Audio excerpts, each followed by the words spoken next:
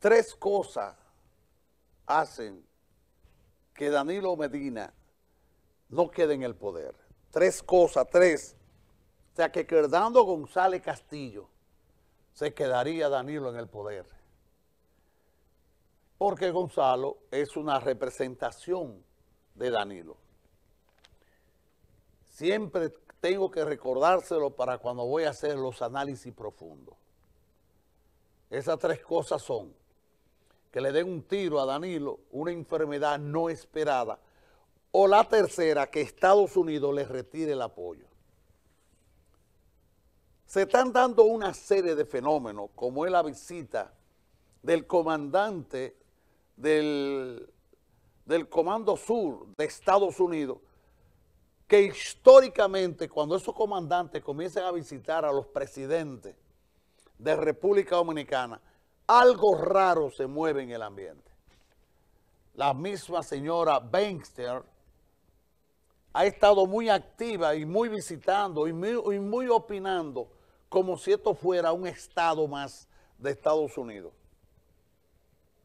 Ahora es que un senador le hace una crítica al gobierno de Danilo, un senador norteamericano,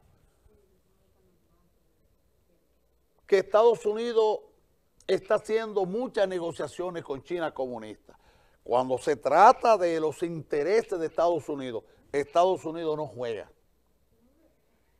Entonces eso hace creerse que en este caso parece que Danilo no tiene toda la de a su favor con Estados Unidos. Y recuérdense la teoría mía. Tres cosas hacen que Gonzalo o el grupo de Danilo no queden en el poder, que son un tiro a Danilo, una enfermedad no esperada, o que Estados Unidos le retire el apoyo. Y se han producido una serie de fenómenos que dejan entrever que aún todavía parece que Danilo no está teniendo del todo asegurado el apoyo de ese sector. Entonces, ¿qué fenómeno se da? Que si Danilo no tiene esa parte, esa tercera parte de apoyo, eso significa que Estados Unidos permitiría que la oposición tenga opción para ganar. Ahí es que hay que hacer el análisis y crecer intelectualmente en el pensamiento, en la conciencia del dominicano. ¿Qué está pasando en nuestro país? Que el 2020 no representa esperanza ninguna. Cuando históricamente este país ha visto en las elecciones como una cierta esperanza, si gana fulano, puede haber un cambio. Eso ha sido históricamente, inclusive, después de la Segunda Guerra Mundial, que Trujillo decide poner a su hermano negro porque la Segunda Guerra Mundial abrió como especie de un olor a querer respetar la democracia, un olor que no era tampoco real.